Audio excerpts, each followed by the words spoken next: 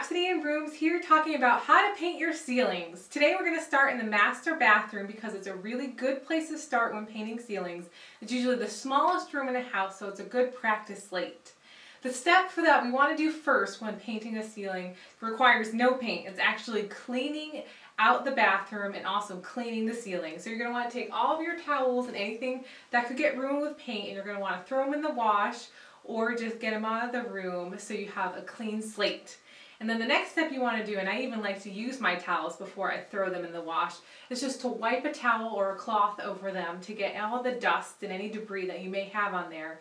If you don't get that off, then it's going to be cemented in with the paint and you'll always have that in there and you won't have a nice flat surface. So you're going to want to take out all the towels, wipe down your ceiling, and then you're also going to want to put down painter's tape in anywhere that you think you may need it. So if you're not really good with freehanding lines, um, you're going to want to paint put painter's tape along the edge of the ceiling on the wall so you don't get any on your wall, although I'm going to be painting our walls, so I'm going to use this as a good time to practice my freehand, but not worry about getting paint on the wall since I'm going to be painting those next. Uh, and also if you have any vents or light fixtures, you may want to paint around or tape around those so you don't get paint on those. So first step is to clean and clear out everything and then we'll move on to our painting. All right, now that we've cleared out the room, we're ready to gather our supplies so we can start painting. We're gonna start with a step stool. That's really essential when you're cutting in, in those corners and I also like to use it for rolling or you can have an extender if you wanna roll with an extender.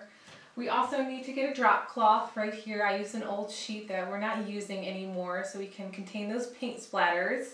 And we're going to need a tray for our paint. And here is our roller. When you're at the store, it's really easy to figure out which nap you need on your paint roller. They label them whether it's a textured wall or a flat wall. So you're going to need a flat in this case. And then you're also going to need a paint can opener right here. I like the metal ones more than the plastic ones.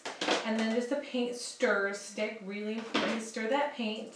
And then the key to making a really good straight line on your edges and cutting in is a short-handled angled brush. This really helps you get those straight lines and I highly recommend using one, a high quality one too.